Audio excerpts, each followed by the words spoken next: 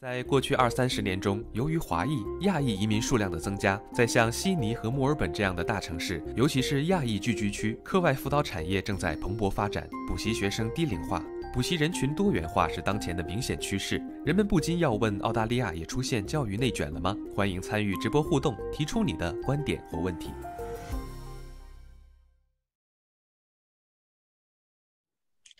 呃，欢迎您回到澳大利亚。澳洲直直播澳洲这个节目 Australia Life 这个节目当中，呃，下面呢我们要介绍一下我们事先采访的一位嘉宾了，Christina Hall。呃，Christina 呢很小的时候呢就从呃就跟父母呢一起从香港移民到了澳大利亚，那么在悉尼呢一所精英的学校里呢学习，但是呢他呃。现在坚决不不不想把他的孩子呢送去精英学校。那么主要的原因呢，是因为他认为精英学校不适合他的这个孩子，而且呢，他的孩子呢在精英学校中呢可能学不到更多的这个呃人生的这样的一些经历和学习。那么他呢，同时也是专门研究啊亚裔移民与澳大利亚的教育问题。那么自从二零一六年的时候呢，他就出了一本书，叫做《渴望与焦虑》啊。Aspiration and Anxiety: Asian Migrants and Australian Schooling 这本书呢，也引起了社会的广泛的关注啊。那么它呢，其实就对这个课外辅导产业，尤其是澳大利亚的课外辅导产业，呃，是有一种呃担忧。担忧什么呢？我们来看看他是怎么说的。The the industry is very unregulated. So anyone really can set up a tutoring company or set themselves up as a private tutor. It doesn't matter whether they have any qualifications or not. Nobody's really checking. Um, and of course, when you have those migrant families that are very anxious about the future, and they're willing to pay, they're willing to pay. And I do feel like the industry sometimes is um, a bit exploitative. You know, it's, it's really exploiting those families' fears, migrants' fears, um, and they're selling they're selling a, a dream of you know security and a prosperous future 刚才 Christina Hall 女士啊，她讲的好像呃用词非常的严厉，用了剥削这个词啊。呃，荣思成，你是这个产业的一员，怎么看这个问题？啊，我们是不是应该增加更多的监管？他说的有道理。 啊，我相信今天在看你的 show，我们的 ABC，你 Jason 你的 show，很多也是家长。我其实就知道家长是很聪明啊，一个 customer，一个客人，对吗？其实很简单的，如果他们觉得他们的孩子不再进步，分数上不再进步，他们的啊 character，他们的性格，但这个孩子也不喜欢在这个学校读。那他们可以离开的。我们的家长是很聪明的，如果他们孩子不进步，性格也没有进步，那我觉得他们要考虑要去走了。嗯，呃，但是的确也是这个产业中的这老所谓的辅导老师，他们不一定并不一定是教育出身的，并不一定有这个执教的资历，是吧？对，也说的对。所以我觉得一个好的补习学校一定要给。这个家长沟通是很重要的啊，他们要跟他说，他这个 term 读了十堂、十一堂啊，他们读了什么？他们考试考的怎么样？那这个跟家长回报是很重要的。像 for example，我教我的孩子什么时候，我们教我们的孩子时候，我们每一堂会跟家长讲我们是做了什么的，这个是非常重要的。对，嗯，就是这个 feedback 跟家长之间的 feedback 非常重要啊。那我想请那个韩文竹老师啊，请你谈一下啊，就是呃，正是因为这种辅导业的发方兴未艾，我们看到了这个孩子上辅导课的年龄越来越小了。我有一位朋友，他在悉尼啊，他跟我说，他孩子女孩子刚刚三年级。他已经开始上辅导学校了，因为他说五年级进不到那个特殊的班，六年级就要考那个精英学校就进不去，精英学校，呃，进不到中学精英学校，初中、高中也就基本上没有什么戏了，呃，所以有这样的一些担忧。而且我们看到华人开始是热衷于辅导，后来就是亚裔人士，包括印度的各种各样的其他地方的人，现在我看到很多欧裔人士也加入到了这个辅导大军当中去了。韩文珠老师，这种内卷是不是越来越严重了？嗯，其实如果可以的话，我其实想讲几点。第一，嗯，我十几年前来澳洲的时候，我已经帮西人的家庭在做高考的补习，他们只是不去补习机构，他们会请老师上家去补习，而且呃，慢慢的我教的这些孩子，有西人的孩子，有像你说的亚裔的，比如说越南的，或者是柬埔寨的，当然还有印度的家长，甚至从小学三年级就想开始学中文的都是有的。所以说，这个这个东西不是说现在才有，只是我们现在确实像您说的，方兴未艾，它越来越来越被资本所关注。其实问题不在于补习机构，而是在于资本。但是我们知道，资本操作它有几有有好有利有弊吧，我们不能一刀切去管管理它。所以说，呃，你们会说啊，有些老师他没有教学资格，没有教师资格证。但是我们来说，如果说资本呃，或者是补习机构的有培训，他们同一个课，同一个七年级的课，可能要一个星期上十节，所以他们很快就能把这个老师培养成一个有经验的老师。而且他们通常来说选择的，我想刚才已经有人在点头了。他们选择老师的时候，他会看你单科这一门高考你会成绩是多少，你高考的分数是多少。我们知道澳大利亚在啊二十年前、三十年前选选老师的这个标准。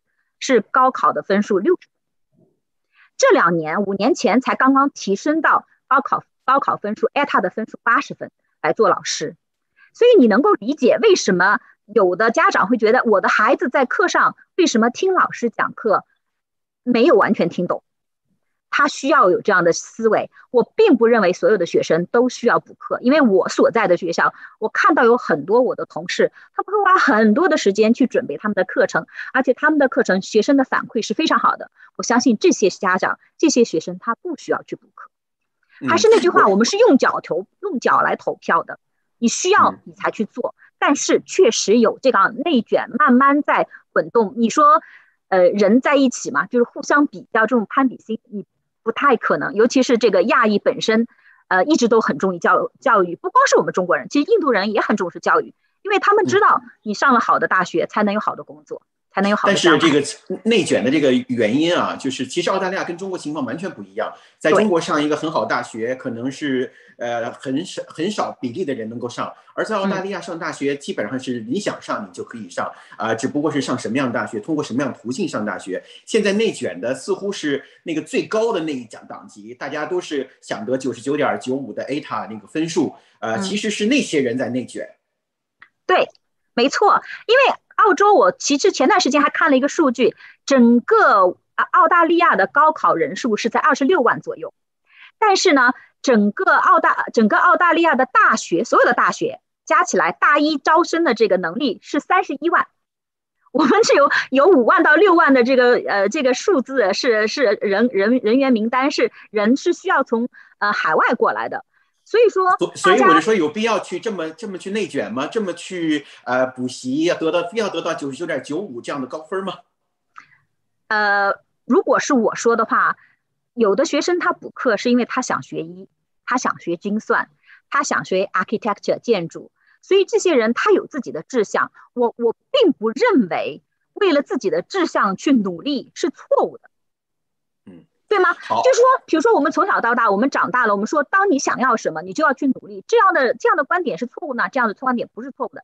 但是如果他只是想要一个考一个七十分、八十分的这样的高考的学呃这个科目的话，确实没有必要把自己压迫的那么紧。嗯，那么陈陈陈博士，我想问您一个问题，就是说这种呃校外辅导当然都是自愿的啊，其实也是根据自己的经济实力来决定的。那这是不是就把那些经济实力比较好的跟经济实力比较差的就越拉越远，越拉越远，形成了这种呃呃这个有经济实力比较好的，甚至一一个学期可以花几千块钱去补课，那经济实践实力不好的就等于说自生自灭。呃呃，Jason，谢谢你这个问题。我觉得呃，咱们生活在澳大利亚，呃，这是呃很坦诚的说，这大家也知道，这是一个资本主义的市场经济的这种社会。就像 Christine 和 Scott 也都说起来了，大家用脚来投票，啊，客户他知道有什么。然后，但是这的确，这个社会包括美国、加拿大，啊，其实这都是类似的，就是你刚才所讲的啊。中产阶级和这些呃，比如说中低收入的阶层之间这种分层，这的确是一个现实的状况，而且还持续。但是，unfortunately，我觉得很不幸的是，就是说，包括这疫情，就让这种情况百上加斤。我们可以看到，现在财经人士来说啊，这个呃。这个有钱的人他变得更加富裕，那么啊，贫穷的人变得更加就是呃贫穷。其实放在教育上面也是一样，因为可以外溢到这个教育这种投入。呃，Christine 刚才讲的这个呃早些年。西人欧裔的这种家庭早就悄悄的，也不是悄悄，他是很自然的就把人请到家里头一对一的这种来教。我们知道，在美国也有类似这种情况，甚至这种这叫 affordability。然后比如说，作为呃高知的呃高产的这种富裕这种家庭，母亲。或者父亲一方面可以放弃自己，暂时放弃自己这种专业工作，专门来教育这个孩子。所以这个 affordability 只有对于这种富裕阶层来说，他的确可以承受得了。然后刚才我就提到了，我觉得对于那些真正有这些需求的，但是家庭经济状况要比较呃难以承受的一些家庭，这个社会。政府各方面需要来做一些，就比如说 voluntary 的，或者这种呃 philosophical 的这种啊工作。呃，我给举一个例子，我们有一个博士生，他是来自新加坡的，那么他专门研究的这种补习的这种情况，在新加坡有这样的，有政府或者教育以及社会 NGO 组织，大家来设立一些这样的这种机构，专门给那些中低收入的家庭、移民的这种家庭。来给这些孩子来提供免费的这种非常低廉的这种补习啊教育，所以这样就回应了杰森你可以讲的这种在教育方面这种分层会不会日益恶化？我觉得这的确作为一个社会来说是需要面对这样的问题，而且我就觉得特别需要关注的。很有意思啊，这个对于移民来说，尤其华裔移民移民来说呢，并不是铁管铁板一片哈。那么原因就是因为呃。据这个 Christina Hall 啊教授他说呢，呃，在第一代移民刚来的澳大利亚澳大利亚的时候，可能是对什么都不太了解，对教育制度也不了解，所以就很害怕。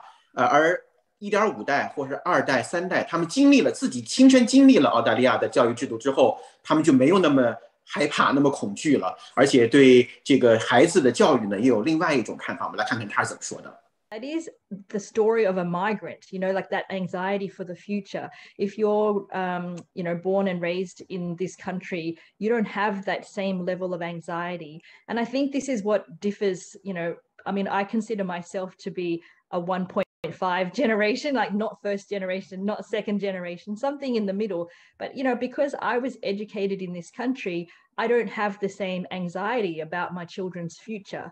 Um, I, under, I understand how education works here. I understand that if my children don't get 99, that's not the end of their life, right? Like I know all the different other avenues that they can pursue. Um, and all the ways that you can still graduate from university or even if you don't go to university you know that doesn't mean that you don't have a, a, a, great future possibly ahead of you. I think for the migrants who are new to australia they do have quite a narrow definition of success. Um, and it, you know so it is about money. It's about you know being in a prestigious job and earning a lot of money. And i guess that's why there is the, almost this obsession with you know your kid becoming a doctor or you know accountant dentist lawyer whatever for generations of migrants who are more established in this country um, maybe they have more of that luxury to widen their definition of success. Like the longer you have been there and you feel a sense of comfort and familiarity, then you can afford to be a little bit more broad in your thinking about what is success.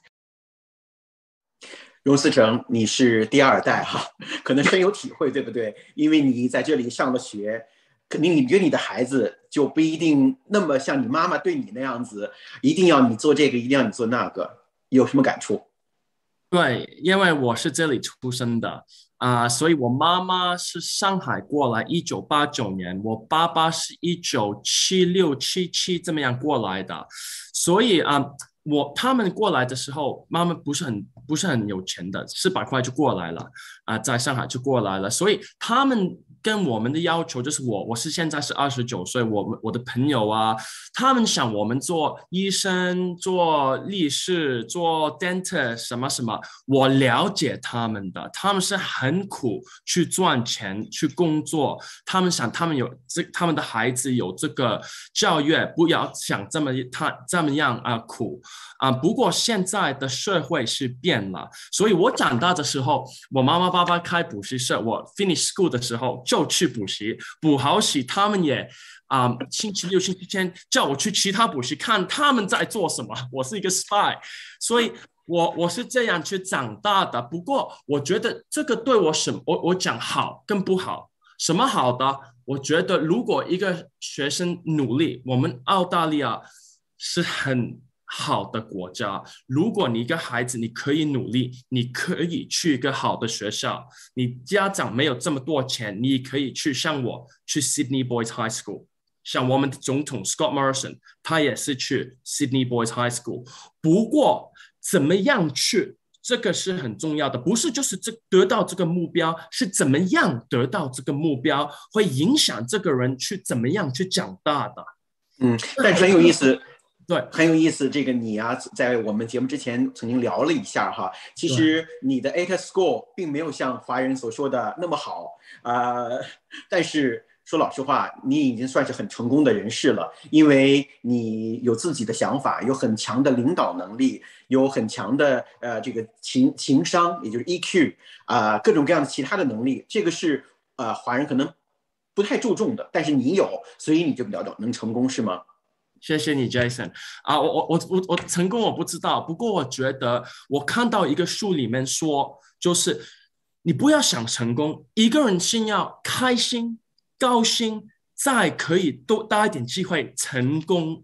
对吗？所以我做我的事，我很了解我在做什么的，我很想改变我们现在的教育啊，所以我一九两两零一九年的时候，我去选州议员，我我输了一点点，所以我我输的时候，我说我我做不到一样，我改变不到这个 education system，我怎么样去改变呢？我就开我的学校，我觉得要帮孩子进去很多好的精英学校，不过这个方法要不一样。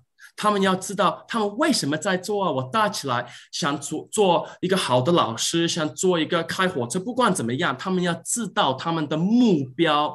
我们知道我们的目标，小人跟大人是一模一样的。我们知道我们的目标的时候，他们就会好一点，他的态度会好一点。他们不是跟着他们妈妈吧？你一定要去做功课，否则我打你，怎么样？这个是非常不对。第二个 point，我看到我很多朋友在 Sydney Boy，在 Sydney Girls。很好的学校，他们啊，去好大学的时候找工作是找到的，会上去吗？不是很大机会。他们会讲话吗？他们会沟通吗？这个是很重要的。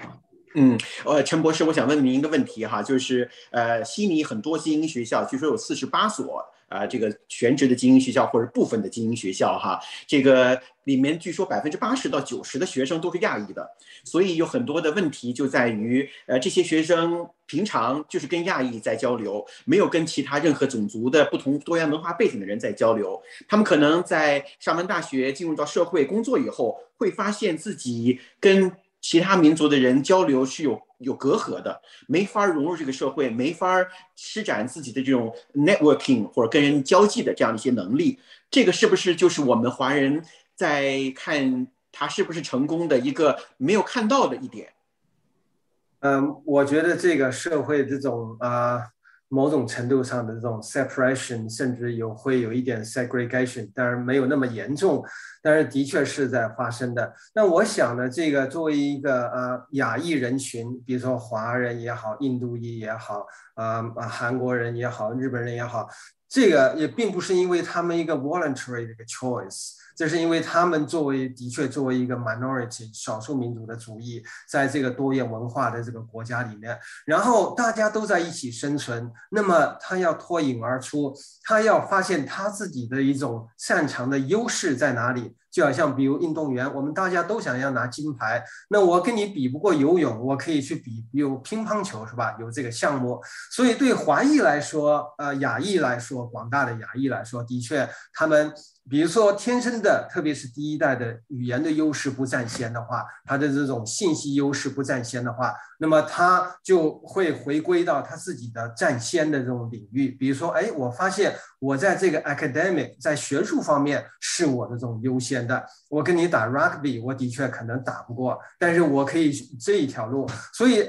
这是一个澳大利亚的这种一个幸运的地方，就是说它所有的东西选择是多元的，然后每一个人群他会找到他相应的这种优势的这种领域，然后他在里面往里面去发展。当然了，这种东西，呃，我在想，Scott，你这个目标也非常呃了不起，就是说，当我们发现优势领域一直往前走，第一代、第二代、第三代走下去的话。你会发现产生新的问题，那就是说，那的确是过于精专或者过于呃单独了，所以这个时候你又要需要，其实这就是慢慢的在经过了多代的生活以后，它慢慢的融入到更多的这种在认识在价值观方面。